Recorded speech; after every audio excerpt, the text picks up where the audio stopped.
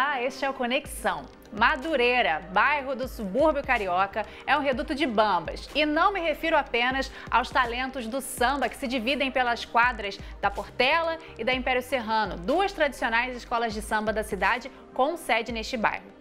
Madureira também tem talentos que produzem cultura urbana. Se você quiser conhecer algum, basta dar um pulinho na festa Verão no Roof, que acontece por lá. O Marcelo do Gueto conta melhor essa história pra gente. Marcelo, conta pra gente que festa é essa? Festa no Roof, é, Verão? cara, é uma uma marra que a gente meteu, né? Todo mundo fica brincando essa história do roof, mas roof na verdade é terraço em inglês. Isso, é, vamos explicar, porque né, todo mundo tá falando inglês ainda, é, né? Então, é, roof, mas é fácil, é terraço. é R-O-F. Então é muito simples, mas na verdade foi. Eu morei um tempo em Nova York e tudo que eu fazia lá na época do verão eram festas e o Brooklyn, que é um bairro que eu fico brincando que Madureira é meio que o Brooklyn do Rio de Janeiro, que é um lugar de cultura negra, de tendência, de, de muita gente interessante era um desejo que eu tinha de encontrar um espaço. E foi muito louco, porque nem no meu maior sonho imaginava que eu fosse encontrar justamente um terraço em Madureira, porque era muito improvável achar um lugar que tivesse essa possibilidade, que coubesse as pessoas.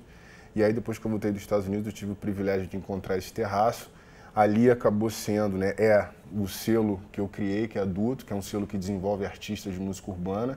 E a gente, nos últimos três anos, vem desenvolvendo projetos de desenvolvimento artístico e projetos de convivência, de network, trazendo palestras, trazendo workshops, trazendo exposições de arte. A gente vai entrar na história do, do, do selo Duto, mas eu queria antes explicar um pouco o que acontece na festa, assim, que tipo de música toca na festa, quem que vai, é 0800, é só durante o verão? A festa, na real, assim, é uma festa que aglutina artistas, músicos, DJs, produtores, né, e o público em geral que é amante dessa música urbana, e música urbana se fala de hip hop, rap, reggae, e toda essa fusão da música eletrônica contemporânea que está rolando.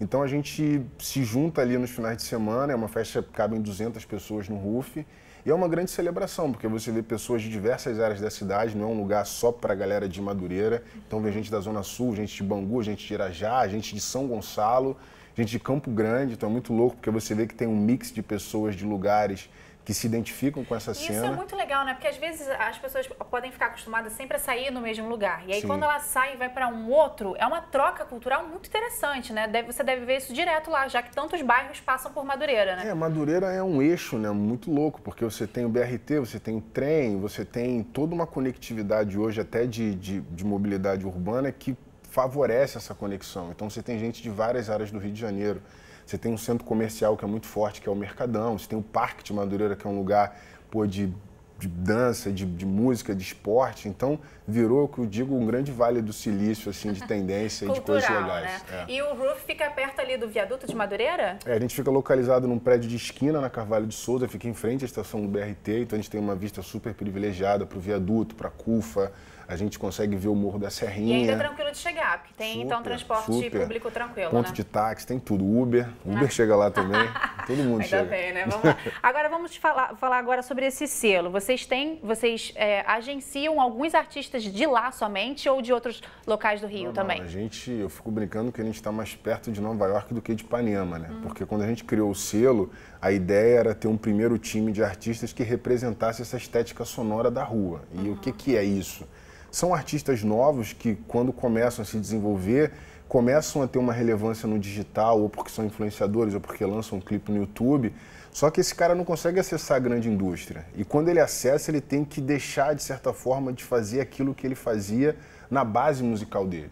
Então a gente começou a estruturar isso de uma maneira mais organizada e cuidar de edição, de gestão de carreira, né? dar um olhar um pouco mais é, mercadológico para a sonoridade, para o processo final da produção e da música. E ele não perde a essência dele, a ideia é essa, manter é, a essência assim, dele. Você acha que a Rihanna perdeu a essência dela? Ai não, amo Rihanna, amo, amo. Então eu acho que o Brasil ainda tem uma certa dificuldade de desenvolver artistas a partir daquilo que eles são. Hum. Então sempre que você vai para a indústria, você é obrigado a fazer uma certa transformação, que é natural, mas isso não pode declaradamente mudar quem você é e a sonoridade. você, né? Exatamente. Agora vamos falar sobre a cena musical de Madureira. A gente estava conversando aqui fora do ar um pouquinho antes para poder entender. Antes era muito a questão do samba, Sim. e aí a gente tem vários nomes, Jongo. né? Assim, o jongo, essa, essa coisa mais forte. Isso não mudou, ainda não. existe. Mas hoje, a cena contemporânea, além do samba, o que, que mais está rolando em Madureira? Cara, eu acho que moda muito forte, porque tem um núcleo de meninas e de caras assim desenvolvendo moda, parte de cabelo, porque tem muita gente trabalhando, transistas e gente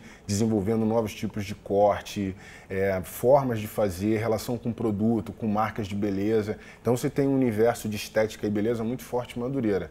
O universo da moda é uma extensão disso, porque a galera é muito criativa, ninguém tem grana para ficar comprando roupa todo final de semana, então todo mundo se renova muito, recorta, customiza. Você deu um exemplo que eu achei interessante. Antes a menina que era somente passista, hoje ela também é designer de, de joias, de né? Então as pessoas elas estão, elas não perdem aquilo que elas faziam em relação ao samba, à feijoada, ao mercadão, mas também incorporaram agora as tecnologias e esse empreendedorismo. Tem muito empreendedorismo ainda muito, também nessa geração, muito, né? Muito. Acho que a galera está muito entusiasmada. Primeiro que o mercado de trabalho se pulverizou, né? Ninguém está mais afim de ficar dentro de um escritório. Segundo que a base de formação dessa galera é muito no fazer. Uhum. Então, quando você vai para uma disputa do fazer, é imbatível. O que perde, às vezes, é a parte acadêmica ou a formação tradicional. Então, quando você bota essa galera numa vitrine de visibilidade positiva, que as marcas se aproximam, que você cria métodos de inserir conteúdo e coisas interessantes, cara, a galera vai embora. Todo mundo assim. ganha. Vamos dar uns exemplos, então, gente, desse pessoal que está produzindo. A gente tem algumas pessoas que são. Vamos começar pelo, pela DJ Eve Hive. Eve Hive. Olha só a página dela no Facebook, se você quiser saber mais sobre ela. Eve Hive, DJ Eve Hive. Essa menina é um luxo, assim, ela toca já há quatro anos, faz parte de diversos coletivos de música. Uhum. Tem uma residência na Fosfobox, que é um clube bem tradicional uhum. no Rio de Janeiro de música eletrônica. E ela toca mais o quê? Cara, que tipo? ela é nem mais o que ela toca. O grande diferencial da Ivy é que além dela ter um super carisma, ela é uma DJ que eu considero artista e ela é produtora. Ah, então ela tá. senta então para produzir. Ela tem samples diferentes e tal. Vamos pro próximo agora. Jimmy J DJ. Jimmy J, esse aí é um garoto prodígio também, começou comigo num projeto do Afroreg lá, o Red Bull Favela Beats, hum. e hoje ele é um dos moleques mais ativos na cena, é DJ do coletivo Ademar, que é um coletivo de skate gigante, uhum. todo mundo conhece aí o Ademar e tal. O é skate entrou talentoso. em Madureira também, total, né? Total, total. Muito em função do Parque Madureira, porque uhum. eu acho que assim, a bola era o grande brinquedo dos moleques do subúrbio, uhum. né? E o skate hoje é um dos esportes mais maiores que a gente tem, virou esporte olímpico. E Madureira, não tenho dúvida que vai ser o celeiro dos grandes campeões. Assim. Ótimo. Eu quero agora mostrar mais uma, a Malia, que é a menina dos Malia. olhos. Eu falei de Malia, eu falei, essa menina é maravilhosa. Vamos ver um trechinho da Malia, então. Malia Oficial Vevo. Chique, né?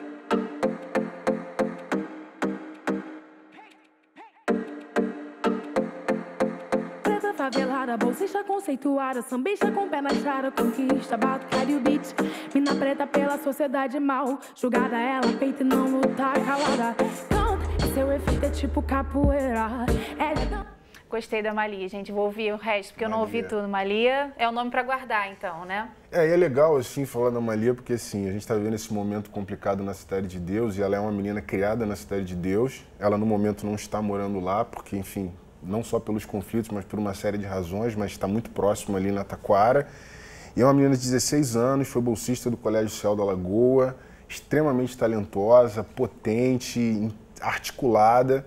E, e, é muito legal ver, porque quando você olha isso na perspectiva de indústria, cara, você tem um celeiro de talentos muito grande. Assim, a música hoje é um negócio gigante no mundo, quando você fala de plataforma de streaming, de marca. Eu acho que o Brasil tem um espaço para ocupar na indústria muito grande importante. Né? A Anitta que o diga. É verdade. E é legal ver muita gente diferente Sim. ocupando esses, os seus espaços, Sim. né? Vamos agora dar o serviço sobre a festa. A gente consegue mostrar o Instagram da, do Roof Duto? Consegue. É, vou ver tá se o pessoal ajuda ali a gente, pra gente poder Tem dar uma olhadinha um vídeo legal festas. da Duto. Ah lá, olha, esse é o Instagram, é. Roof Duto para você que quiser ter mais informações, só seguir. Vocês devem colocar as informações lá também, né? Tudo, Mas tudo, a, festa vai até quando? A festa, na verdade, a gente terminou o primeiro ciclo agora e aí dia 10 de março a gente tem um evento de encerramento, que eu já sei que você vai estar tá lá, linda, Vou maravilhosa. Dar um jeito, Marcelo. Galera do Futura vai estar tá lá também.